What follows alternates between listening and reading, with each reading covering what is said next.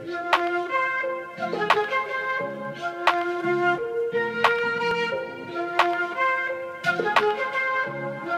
don't fuck about, kick it, Karen.